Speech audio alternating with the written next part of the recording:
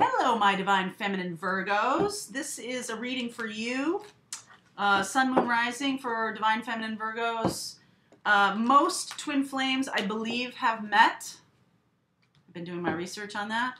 If you haven't met them in the physical, uh, you have met them in um, the metaphysical. So if you are aware that you're a divine feminine, if you're a, a twin flame, uh, I believe most of you know who your divine masculine is. That's my understanding. I'd love to hear from you about that um, because we're talking about divine partnerships, and one of my charges here is to help you navigate that journey. So, um, in the comments, let me know uh, have you met him? Is it, you know, what is going on? What stage are you in? I'd love to know. Okay. So, Divine Feminine Virgos, we are going to do a little bit of a different read. We're going to do the 3, 3, and 3. But then in the extended version, the three for you are going to be about lessons and things you need to heal. And um, I have to refer to my notes because this is new. Uh, and actions you can take. Okay. And then in the second line for your Divine Masculine, he is going to give you three messages for you. So the first three will be what's going on with him. And then in the extended, the next three are going to be messages for you. Then uh, in the extended, we'll see how the whole thing plays out. Okay, in the relationship line, um, if you haven't watched these before, I think you'll get the gist of it pretty quickly. Um, also, in the extended, we will get guidance from the universe, and we'll ask Archangel Michael to cheer, chime in. Special guest star, Archangel Michael, uh, to talk about um, guidance from him for you. Okay, so without further ado, this is kind of a big deck. It's a it's the um, Mythic deck. I don't know if you've ever seen this uh, Mythic Tarot. It's really cool because it's I used I was an English Lit major for quite a while, and um, the uh, you know all of the myths, Greek myths, and and all of that kind of stuff was part of it. The the um, Joseph Campbell, the journey of the hero, the hero's journey, all those things like were part of a college class that I took, which was really fun.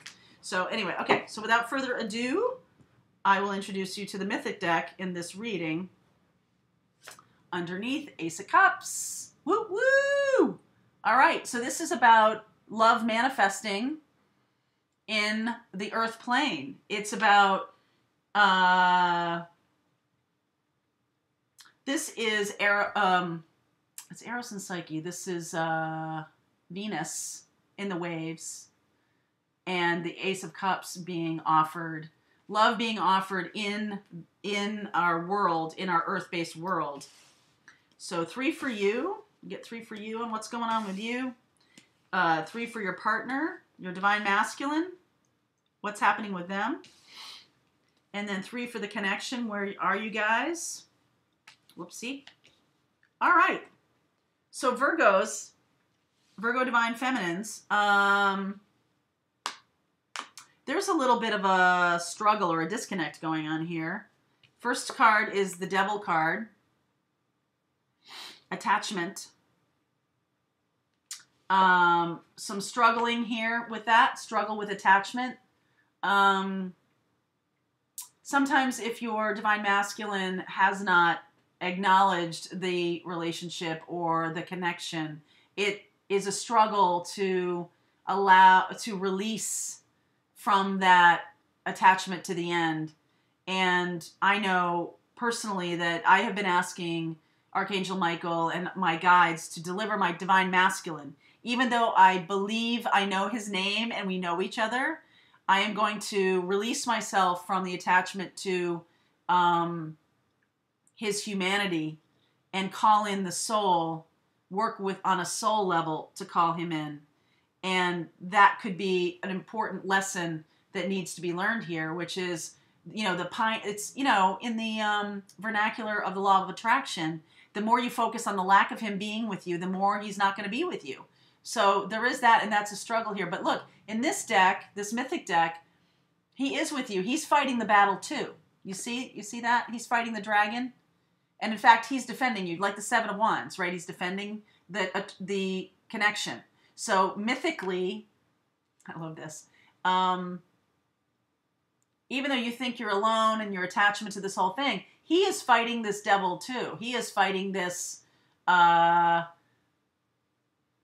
the the dragon of um disbelief, the dragon that is threatening to swallow you up, the dragon that that people don't believe in your connection, any kind of mindset that isn't in alignment, fighting other people. Because, you know, some divine masculines and divine feminines are married to other people. The marriages may have internally collapsed or they're karmic in nature or whatever. And, you know, you've got parents and siblings and friends. And if that marriage really does collapse, are they going to blame your person and all of those kinds of things? So, uh, judgment is the next card. Of course, it is. So, you're battling judgment, right? You're battling the judgment and a judgment of yourself, too. And the feeling of like, if I allow this into my life, will it destroy everything? You know, is this something that isn't good for me? Because keeping the status quo um, has been what I've been doing. Um, this is about being aware of the lessons that your current situation have you in, the lessons that the uh, divine masculine and the partnership are presenting to you.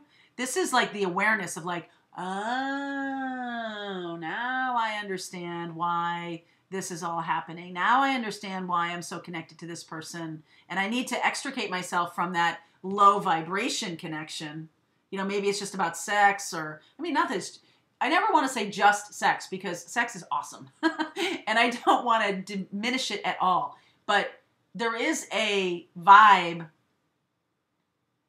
You know the difference between high higher vibration and lower vibration, right? And it comes with everything. It comes with food, it comes with money, it comes with just about everything. So, of course, it will come with sex too. So, you want to be in your highest vibration, and that will in turn level people up to you right? That'll level people up to you, especially your divine masculine, because he needs you.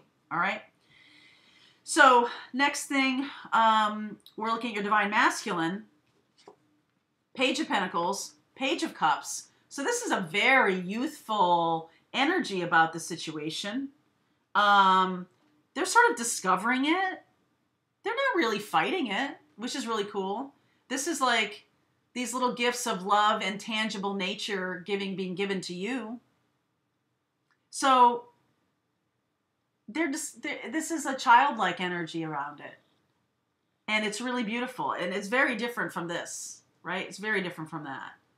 Your divine masculine is choosing to look at it in a lighthearted way. Um, maybe they're not taking it as seriously as you are. Um, and, but this is Narcissus. So we'll start talking about some of the myths here.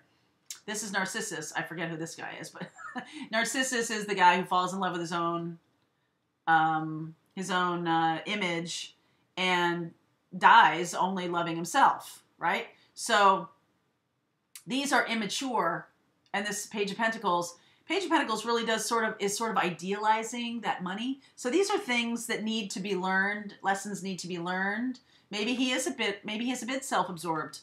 Maybe he's really all about money. You know what I mean? Like these are lessons that need to be learned by him for the uh for the attack uh, for the um, partnership to move forward. And guess what? He's doing that. See, the two cups are being poured into another one to another, the balance of things and the alchemical connection. She also has the two she also has the 2 of cups. So we're moving from this singular singular version of Ace of Cups in the Narcissus Page of Cups card.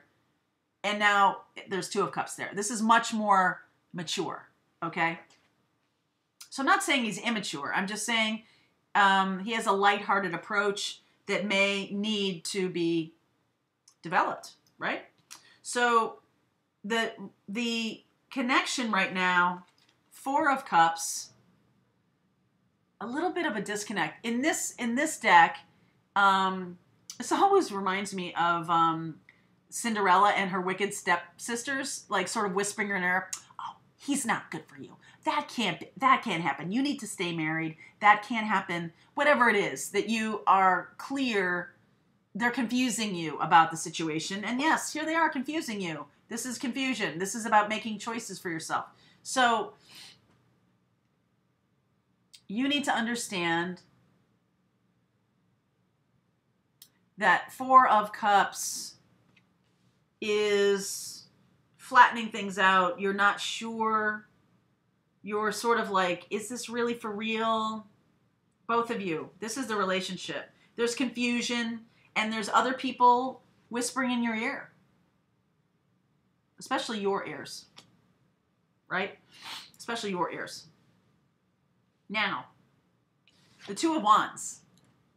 That's some clarity. I like that. This is about see he's been in the in the cave with the hierophant and in this deck it's like it's almost it's very much like the hermit but it has a different feel like the the hierophant in this deck is the mythic god that people go to for i forget what it's called. They go to for um for knowledge and everything like that. This is outside of knowledge. This is like lack of knowledge. This is lower base kind of thing.